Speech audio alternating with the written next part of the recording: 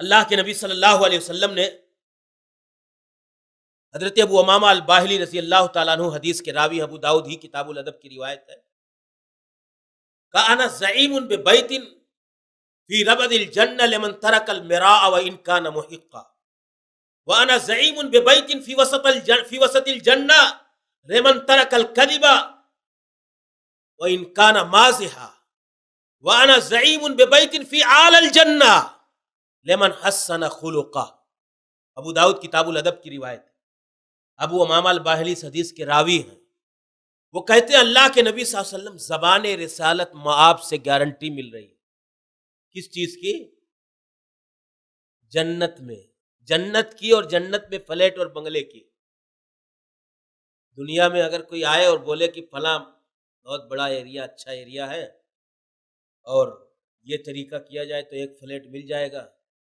تو اس کے لیے سال بھر محنت کرتا ہے آدمی۔ دس دس سال محنت کرتا ہے ایک فلیٹ کے لیے، آئے؟ اور اس آدمی پہ مکمل اعتماد بھی نہیں کیا جھوٹ بول رہا ہے، نہیں بول رہا ہے، پورا ہوگا کہ نہیں ہوگا پتا نہیں کیا ہوگا انجام۔ ہاں ایگریمنٹ جو یہ دے رہا ہے پتا نہیں آخر میں ریزلٹ کیا ملنے والا ہوتا بھی نہیں۔ لیکن اللہ کے نبی صلی اللہ علیہ وسلم کہاں؟ جنت میں۔ دنیا میں نہیں، جو ہمارا آپ کا ابدی ٹھکانا ہے، ہمیشہ ہمیش کا ٹھکانا جہاں ہمیں ہمیشہ ہمیش رہنا ہے کہ وہاں اللہ کے نبی اور نبی کائنات کے بارے میں ہمارا یقین ہے کہ آپ جھوٹ نہیں بولیں گے۔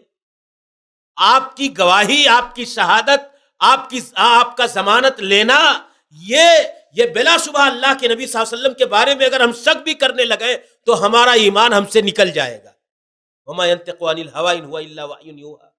آپ سے سچا اس دنیا میں کوئی نہیں آیا، یہ ہمارے ایمان کا تقاضا ہے۔ تو اللہ کے نبی صلی اللہ علیہ وسلم کیا کہتے ہیں؟ انا زعیم بے بیتن فی ربد الجنہ لمن ترک المراء و انکان محقا. کہا کہ سچ پر ہوتے ہوئے آدمی جھگڑا سے بچنے کی خاطر صلح کر لے، جھگڑا چھوڑ دے بگلتے ہو سچائی پر۔ تو اللہ جنت کی کیاریوں میں، اطراف میں اسے ایک اسے ایک یا کیاری ایک گھر عطا فرمائے۔ یہ نبی کائنات کی گارنٹی ہے۔ اور کہاں جنت میں سوچئے ایک عمل سے کہیں جھگڑا ہو رہا ہے دو لوگوں کا، آپ سچ پر ہیں اور جھگڑا طول پکڑ رہا ہے۔ آپ سوچتے ہیں جھگڑا ختم ہو جائے، لیکن آپ سچ پر رہتے ہوئے دست بردار ہو گئے اپنے حق سے۔ چلو بھائی، تم ہی خوش رہو تو اللہ کہتا ہے، میرے بندے کی یہ قربانی، میرے بندے کا یہ اشار اللہ کیا ہر چیز کا بدلہ ہے۔